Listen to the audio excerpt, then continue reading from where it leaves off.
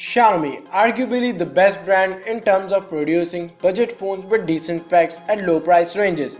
Similarly, its sub-brand Redmi is no exception. Hello guys, this is Maaz Mansoor from MM's Tech and hope you guys are doing great. Today we are reviewing Xiaomi's latest offering here in Pakistan, the Redmi S2.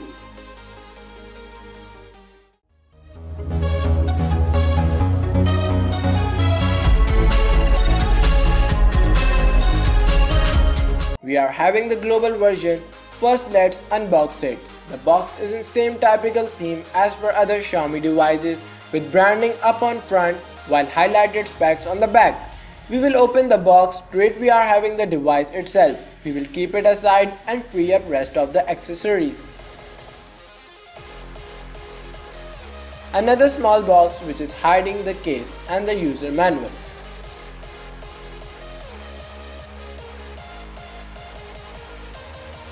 The case is ordinary silicone one to provide better protection while the user manual is not of our need, so just plug it and throw it away. A SIM ejection tool. Further we are having the wall adapter which is rated at 5 volt slash 2 amp, so no fast charging.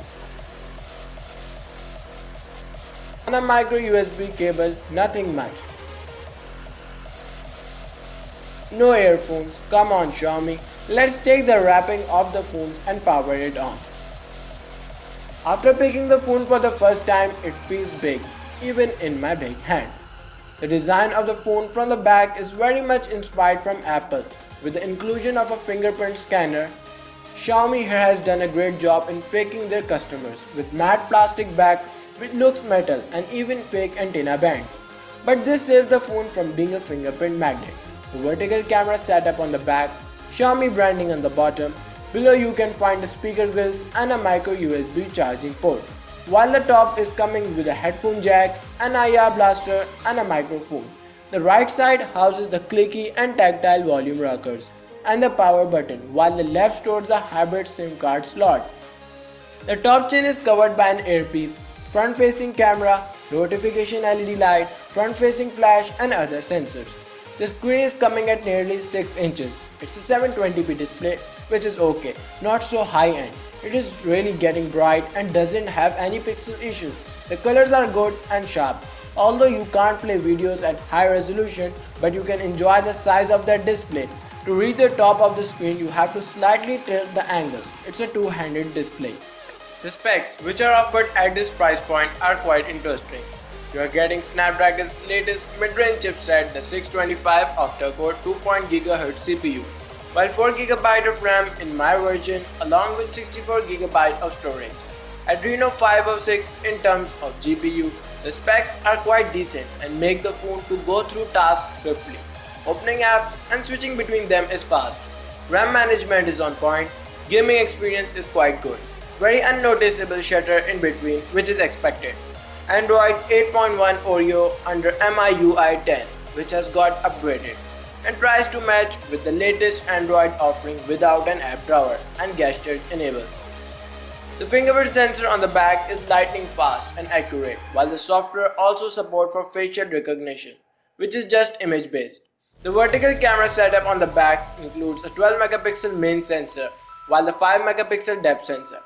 The pictures coming out are softer, not so sharp, Color a bit oversaturated, outdoor shots are good, while indoor shots makes a difference. Portraits are decent as well. The video capability sits around 1080p at 30 frames per second with electronic image stabilization.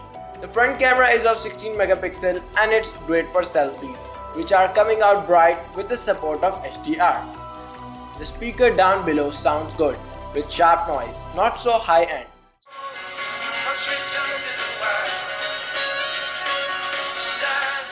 Streaming content along with the speaker is average as you will miss the charm of an HD plus display. But the headphone jack is there, the sound coming through these is impressive. The battery inside this thing is 3080 mAh which makes the phone great for usage and can carry you through it easily a full day or half more with light usage. This thing charges via the micro USB cable with no fast charging. Redmi S2 is a great device for the bank as it offers decent specs in a fairly decent price range. but lacking few bits which are negotiable. Overall a decent device for day-to-day -day use. So hope you guys enjoy the video. Make sure to smash that like button. Until next time, peace out.